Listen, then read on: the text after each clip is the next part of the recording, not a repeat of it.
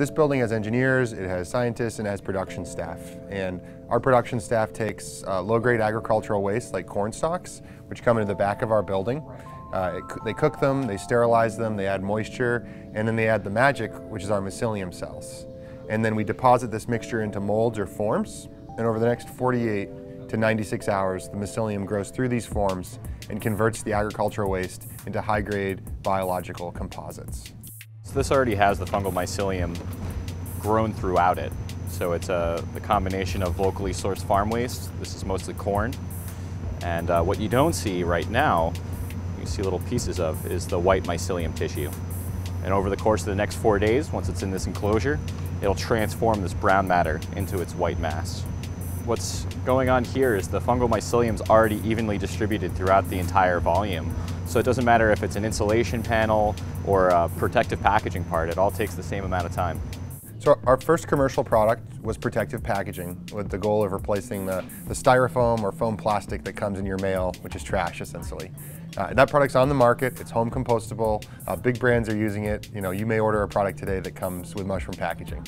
And when you're done using it, it's a nutrient it's not a pollutant, you can actually put it in your garden. The packaging we make, even though it's home compostable, it doesn't spontaneously degrade in the mail. You know, it has to be broken up and put into the natural environment to, to trigger degradation. So this is an example of some recent surface fairness experimentation we've been doing. Um, basically trying to grow the fluffiest, softest sample for an electronics customer. And you can see um, this is a setting that went really well. See a good level of overgrowth.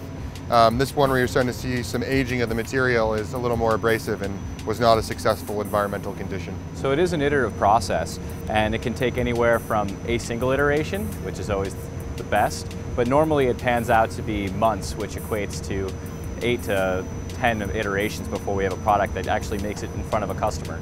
And under heat and pressure, we've been able to compress and consolidate these materials into custom molded forms so much so that they perform and have the same structural integrity as a wood composite that might have these toxic substances like urea formaldehyde. We've found a real market pull in molded composites. So for example, uh, if you were to take a desktop organizer, that would normally go through a subtractive manufacturing process where you're slowly machining and removing material. That requires a substantial amount of time, labor, and of course the, the cost of overhead. What we do here at Ecovative is we mold those products in the growth phase and then in the press.